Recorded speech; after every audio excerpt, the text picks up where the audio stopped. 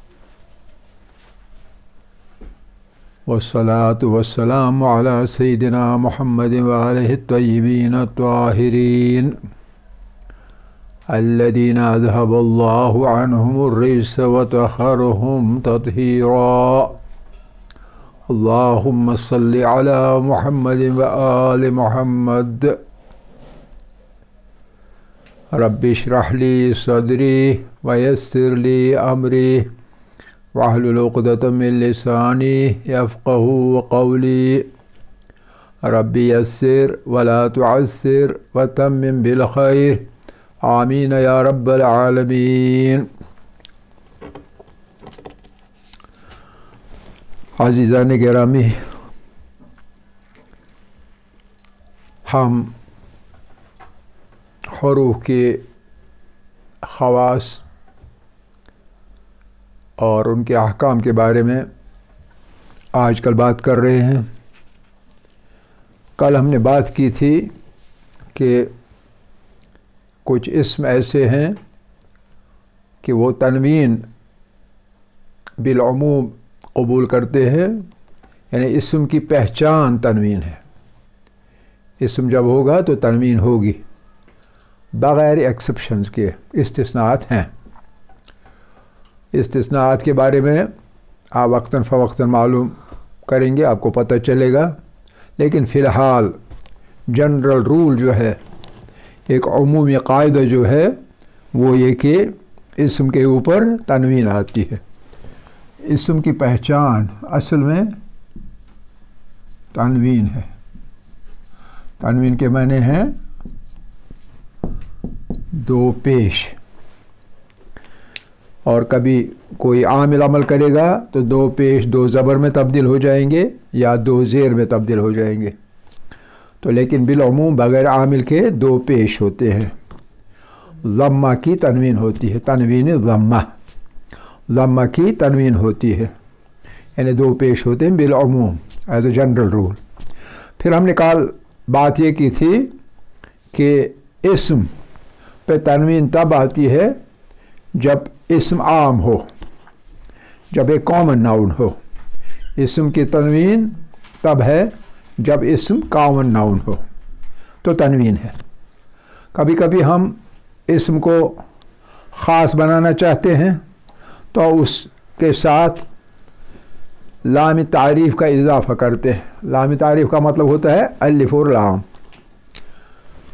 इसको अगर ख़ास करना हो तो ख़ास करने के लिए, ख़ास बनाने के लिए इस पे इसम पे पहले इब्तदान इजाफ़ा होता है लाम तारीफ़ का, यानी अलिफ्लाम इसको लाम तारीफ़ कहते हैं। यह हमने कल बात की थी लाम तारीफ़। तो लाम तारीफ़ जब किसी कॉमन नाउन पर लगता है, एक आम इसम पर लगता है तो वो ख़ास बनता है। जैसे हमने कल ही मिसाल दी थी, हादा रजुलन, ये एक आदमी है। हादा रजुलन, ये एक आदमी है, एक मर्द है, हादा रजुल।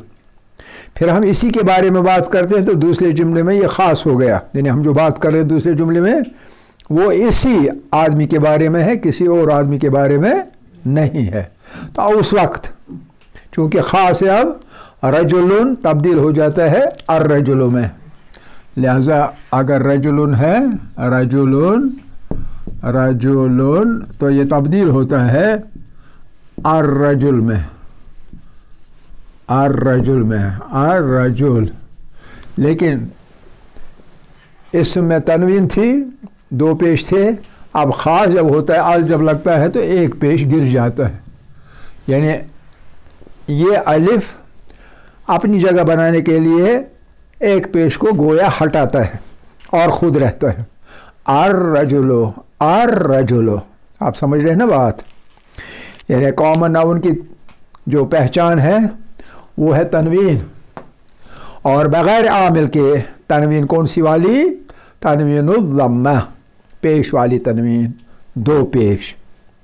और जब इस आम इसम को हम ख़ास बनाना चाहते हैं तो उस वक्त क्या करते हैं? कायदा है, इसम पर हम अलिफ्लाम यानी लाम तारीफ़ का इजाफ़ा करते हैं। इब्तदा में ही, बाद में नहीं, बल्कि इब्तदा में ही। और जब ये इजाफ़ा होता है तो ये आल वाला इजाफ़ा इस रजुल की एक पेश को उड़ा देता है और ख़ुद जगह बनाता है इधर। आर रजो लो जहाँ कहीं भी आल होगा तो उसके साथ एक ही पेश होगा।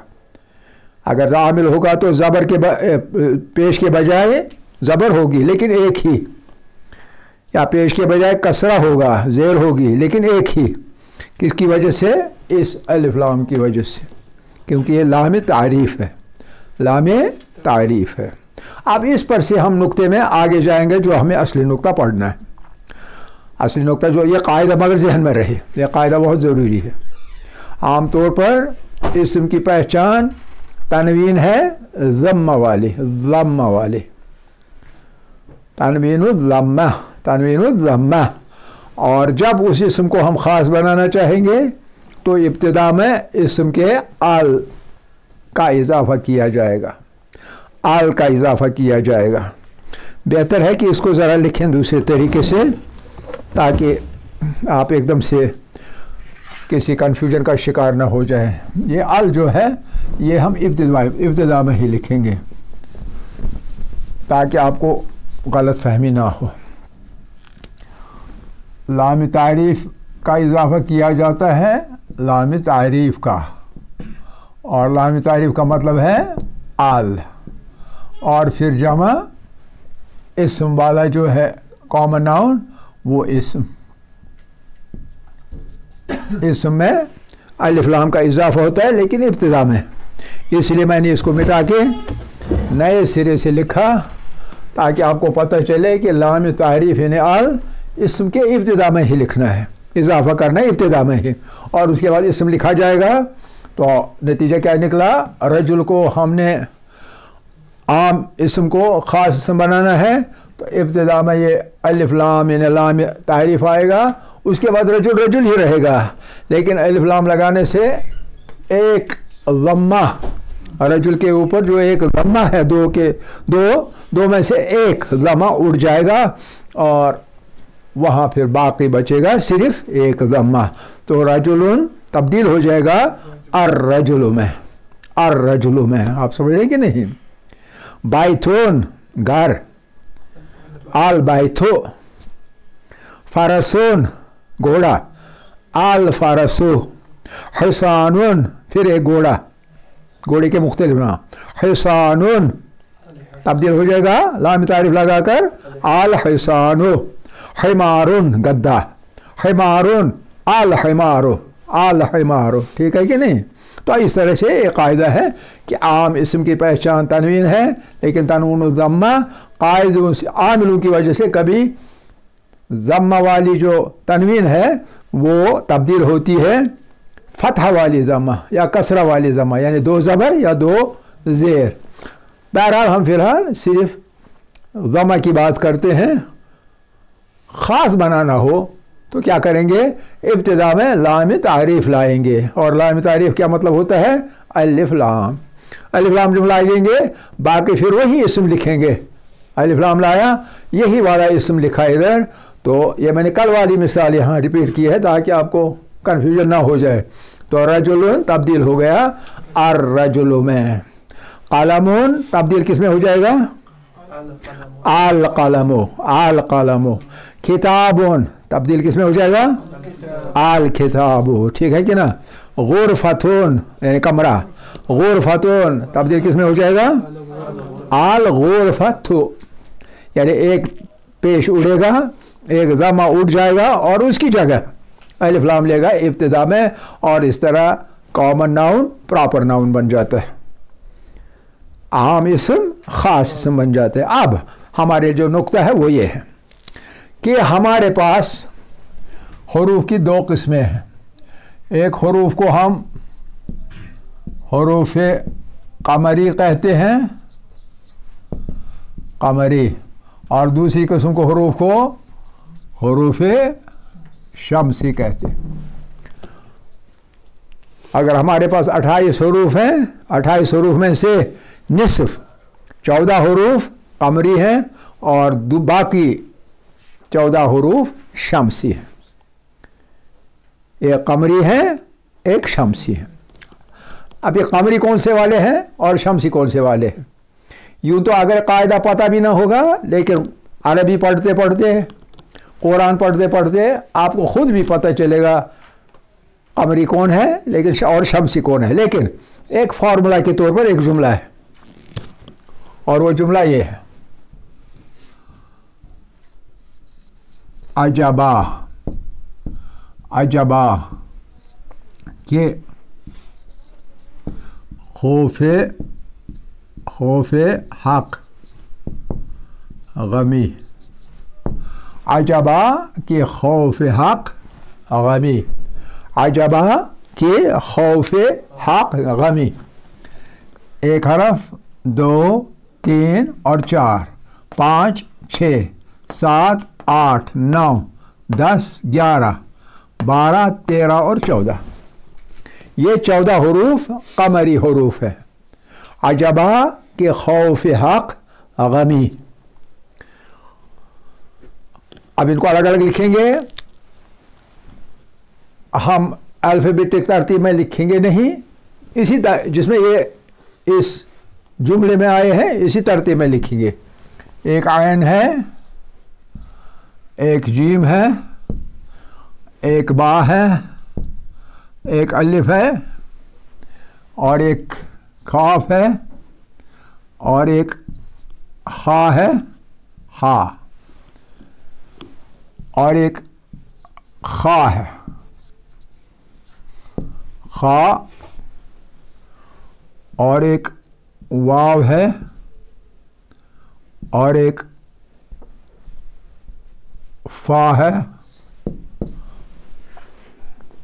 और एक हा है, हा फिर काफ, फिर गैन, फिर मीम और फिर या। बाकी जितने सारे हरूफ हैं, उनको शमसी कहते हैं। इन हरूफ को कमरी कहते हैं और बाकी हरूफ जो इधर बचेंगे, अलिफ, बा, ता नीचे आएगा, सा भी नीचे आएगा। जेम हा खा इसी तरह से, जो यहाँ नहीं है, वो नीचे आएँगे शमसी में। ये इनका नाम क्यों रखा गया है, कमरी और शमसी? क्या इनका कोई ताल्लुक है चाँद के साथ या सूरज के साथ? क्या ये वाले हरूफ चाँद के हैं? चाँद के साथ कोई नस्बत है? और बाकी हरूफ जो है, वो शमसी हैं तो सूरज के साथ कोई नस्बत है? नहीं, ऐसा नहीं। तो फिर क्यों इनको कमरी कहते हैं और इनको शमसी कहते हैं? आपको याद होगा पारे आम में कई जगह आया है।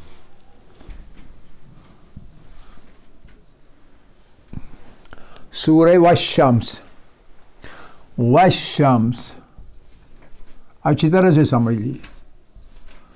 वशम्स वशम से फिर क्या है? उसके बाद? वाल कमरे वशम से वाल कमरे वाल कमरे वशम से वशम से और वाल कमरे। अब इस पर गौर कीजिए इन दो लफ्ज़ों पर। इन दो लफ्ज़ों पर गौर कीजिए। ये कमर जो है, वाल कमरे। आप देखेंगे, इसमें भी अलिफ्लाम है, शम्स में। और कमर में भी अलिफ्लाम है। दोनों में अलिफ्लाम है ना इब्तदा में? है कि नहीं है? लेकिन ये वाली लाम पढ़ी जाती है, वाल कमरे। लेकिन ये वाली लाम पढ़ी नहीं जाती। वशम से वाल कमरे। वशम से लाम नहीं पढ़ी जाती। वाल कमर की अलिफ्लाम की लाम पढ़ी जाती है। ठीक है कि नहीं? और आजकल के जो कुरान हैं। उनकी किताबत में इस अलिफ के ऊपर एक निशानी है। इस तरह। स्वाद और यूँ। इधर भी यही निशानी है। आप मुमकिन है सोचते होंगे निशानी क्या है।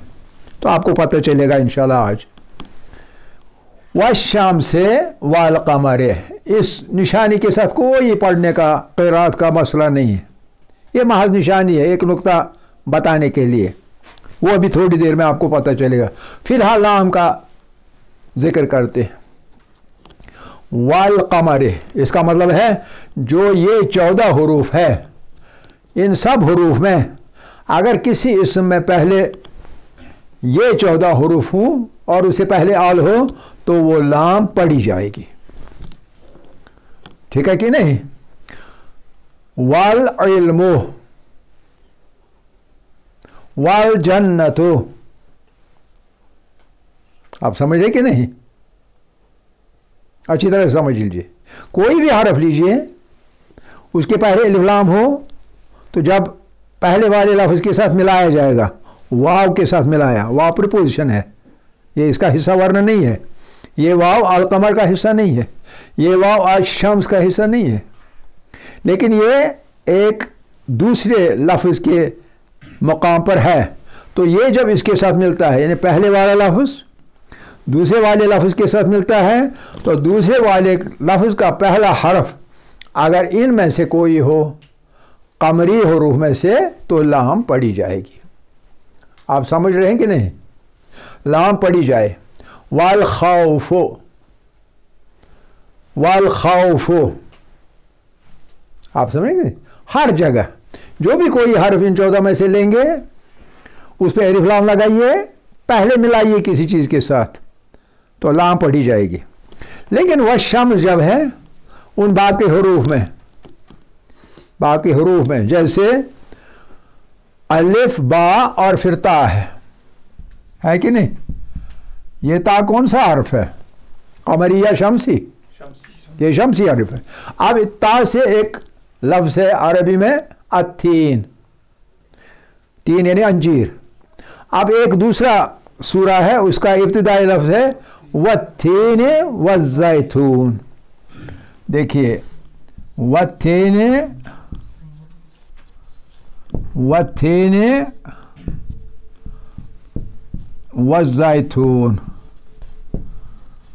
वजैथून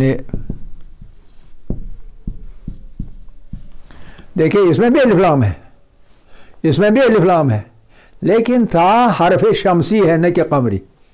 लिहाजा क्या होता है? ये पहले वाला लफ्ज़ जो है, यहाँ तो एक हरफ ही है लफ्ज़ के बजाय। वो जब इसके साथ मिल जाता है पहले तो लाम पड़ी नहीं जाती। बल्कि लाम के बाद वाला हर्फ जो है, वो एक के बजाय दो बनते हैं। दो का मतलब क्या है? दो का मतलब है तशदीद शिद्दा उसमें जो आवाज़ आती है, सदा आती शिद्दत के साथ पढ़ी जाती है।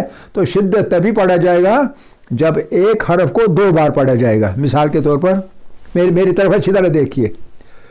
पहले पहले मेरी तरफ़ देखिए। ये है, वत वत थे वत। थे वत ठीक है कि नहीं? फिर मैंने आवाज़ बंद की। तो एक एक था पड़ी गई, वत। अब दूसरी तीन मुझे पढ़नी है। शिदा का मतलब क्या होता है? तशदीद का मतलब क्या है? दूसरा तीन था पढ़ने के लिए, मैं अपनी जो नफ्स है, मेरा सांस जो है, वो मैं छोड़ता हूँ और दूसरी ता पढ़ता हूँ। वत तेने वत तेने। समझ रहे वश शाम से। पहला वाला वश, दूसरा वाला शाम से। तो लिहाजा वश शाम से क्या है असल में? वश शाम से असल में एक दो तीन, फिर शीन, फिर दूसरी शीन, और फिर मीम, और फिर सीन। वशम से शीन दो। दो के बजाय लिखने के मसलन यहाँ था की बात हो रही है। व तीन, दो ता है। व ये एक था ये दूसरी था ये या, और ये नून। अब दो के बजाय हम क्या करते हैं? एक लिखते हैं। और दूसरे के बदले ऊपर ये निशानी डालते हैं। ऊपर की निशानी का मतलब क्या है? ऊपर की निशानी का मतलब है कि ये दो बार पढ़ना है। ये हर्फ दो बार पढ़ना है। वत तेने यहाँ वश। एक शिम आ गया। शीन आ गया। फिर दूसरा, शाम से। ये दूसरा आ गया। यानी ज़ुबान पर जो ही आपने एक हरफ चढ़ाया तो आधा हो गया। फिर अपनी सांस को रोकिए। अपनी सांस को रोकिए, अपने अपने फेफड़ों के अंदर, और फिर छोड़िए। सांस को वापस छोड़िए और उसी हरफ की आवाज़ निकालिए। वश, शाम से। वश, पहली पे क्या था? पहले पे जज्म थी। इसी तरह यहाँ, वत, पहली पे जज्म है। और दूसरी पर हरकत है, जो भी है। वत थी ने तापर जे वश, शाम से, शीन पर जज्म और दूसरी शीन पर ज़बर। पहली शीन जज्म साकिन वश इसलिए अपनी सांस जो है वो रोकनी है फिर ज़बर इसकी पढ़नी है वश वश वश वश शाम से दूसरी पर ज़बर आ गया पहली पर जज्म आ गया अच्छी तरह समझ लीजिए अच्छी तरह और याद भी रखिए पहली पर जज्म पहली पर जज्म दूसरी पर हरकत जो भी हरकत है यहाँ ज़बर है यहाँ ज़ेर है इधर फतहा है, फतहा, यानी ज़बर, और इधर कसरा है। फ़िलहाल मैं ज़बर ज़ेर पेश की बात कर रहा हूँ, आगे मैं ये बात नहीं करूँगा। मैं कहूँगा फतहा, कसरा, ज़म्मा। आपको एकदम से समझना होगा, ज़म्मा का मतलब है पेश, फतहा का मतलब है ज़बर, और कसरा का मतलब है ज़ेर। तो मैं ये कह रहा था, जो शमसी हरूफ होते हैं, उनमें जब अलिफ्लाम लग जाता है अलिफ्लाम के बाद जो हरफ है, वो एक नहीं, बल्कि दो बन जाते। एक नहीं, बल्कि दो बन जाते हैं। और उन दो में से पहले पर जज्म आती है और दूसरे पर वो हरकत आती है जो उस हरफ की है। और बाकी जो बाकी हरूफ है, वह रहते हैं जो होते हैं। तो ये ये बहुत ही इंपॉर्टेंट कायदा है। कमरी मसला में ऐसा नहीं है, जैसे वाल कमर। वाल कमर में वाल, कमरे वाल कमरे। इसमें कहीं काफ दो, बार नहीं है। यानी इसमें जो पहला हरफ है उस इसम का वो इसम वही रहता है। उसमें कोई फ़र्क नहीं पड़ता है। क्यों? क्योंकि लाम पड़ी जाती है। वाल कमरे यहाँ लाम पड़ी नहीं जाती है इसलिए। लाम नहीं पड़ी जाती है इसलिए उसके बदले दो शीन बनते हैं। पहली शीन जज्म वाली आती है लाम के बदले। और ये लाम गिर जाती है। ये लाम गिर जाती है। कमरी हरूफ में लाम तारीफ़ बरकरार और शमसी हरूफ में लाम तारीफ़ जो है, वो गिर जाती है। और उसके बदले में इसम का पहला हर्फ जो है, वो दो चंद हो जाता है। दो चंद हो जाता है। इजाफा होता है दो में। एक के बदले दो लिखे जाते हैं। और जब एक के बदले दो लिखे जाते हैं तो पहला वारा जो है वो मकसूर हो जाता है, मकसूर यानी कसरा, यानी ज़ेर वाला। सॉरी पहला वाला जो होता है, वो साकिन बन जाता है, साकिन यानी जज्म वाला। और दूसरा जो है, वो अपनी हरकत का, अपनी जगह है, उसमें कोई फ़र्क नहीं पड़ता है। वह शम्स के दूसरे वाले शीन में हरकत के अंदर कोई फ़र्क नहीं, लेकिन पहली शीन ईजाद हो गई, क्योंकि लाम गिर गया। लाम चूँकि गिर गया, इसलिए इस शीन के दो बन जाते हैं। लेकिन जो पहले वाला है, वो साकिन बन जाता है। साकिन यानी जज्म उस पर लगती है। इसमें जज्म, इसमें अपनी हरकत। इस ता में जज्म, दूसरे में अपनी हरकत। वज़ायतून वज़ायतून वाव, अलिफ, लाम। लाम नहीं पढ़ी जाएगी। जा के दो जा बननी, बन जाएँगे। पहला वाला जज्म, दूसरे बारी वही हरकत जो उधर है। और फिर या, ता, वाव और नून। वज़ायतूने वज़ायतूने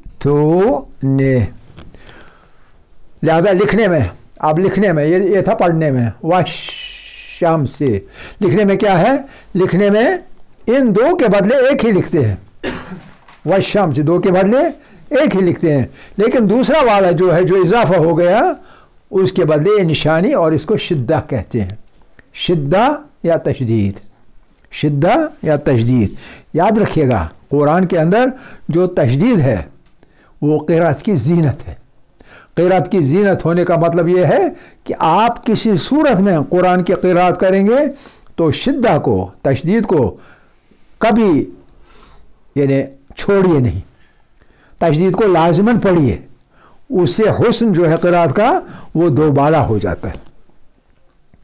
अलहमदो लिल्लाहे ये तशदीद कैसे पढ़ी जाएगी? जिस हरफ पर तशदीद है, जिस भी हरफ पर तशदीद है, उस हरफ पर पढ़ते पढ़ते थोड़ा थोड़ा, उधर रहिए, पढ़ते पढ़ते रहिए, एकदम से आगे मत जाइए।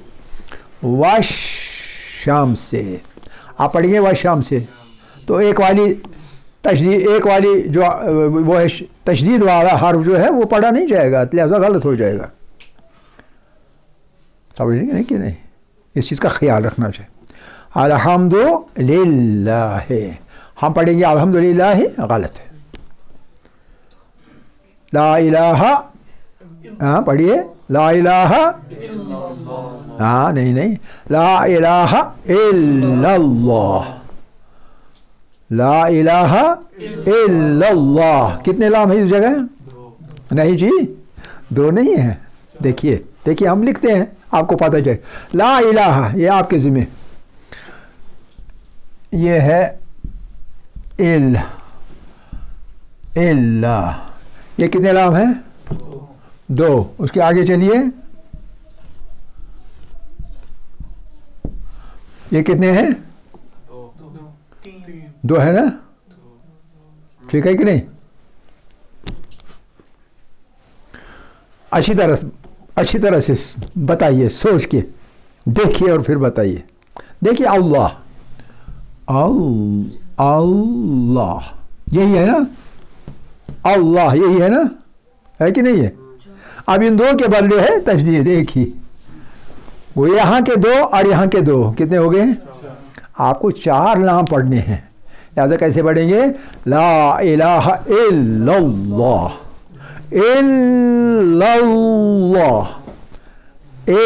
एक लाम, लल दूसरा लाम, और लल के साथ तीसरा भी। लाल, लाम लाम जबर लाल। हो गए तीसरा भी। लाह चौथा। तो चार पढ़ने हैं। आप आप सिर्फ़ एक या दो पढ़ते हैं। आप आप, मुझे लगता है कि आप वो वो ना, तोलने में कमी करने वाले तो नहीं हैं। शुआब की कौम के नहीं है ना आप? कि तोलने में तो कम तोल के देंगे लोगों को? नहीं, पूरा तोलिए, पूरा दे दीजिए। ला इलाह, ला इलाहा इल्लल्लाह अब एक दूसरा है। नमाज़ मगरब पढ़ूँगा मैं या पढ़ूँगी मैं? कुर्बतन, क्या पढ़ेंगे? हाँ हाँ वो तीन ही है। अल्लाह। एक ही लाम फिर अल्लाह के दो हो गए तीन ही। कलमे में चार लाम कुर्बत में सिर्फ़ तीन लाम। इन चीज़ों का ख्याल रखना है। तजदीद से आपकी जो किरत है, आपका जो कुरान पढ़ने का या अरबी बोलने का फ़न जो है, उसमें हसन आएगा। ये जीनत है। आखिर दावाना अनिलहमदिल्ला रबालमी